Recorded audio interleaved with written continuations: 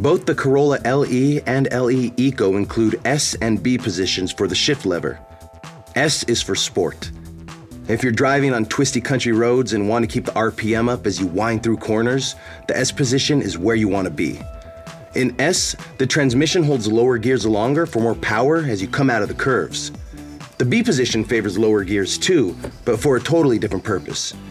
Just as you might shift a conventional transmission to low on a long downhill grade, you can shift into the B position to increase engine drag and help slow the Corolla while coasting.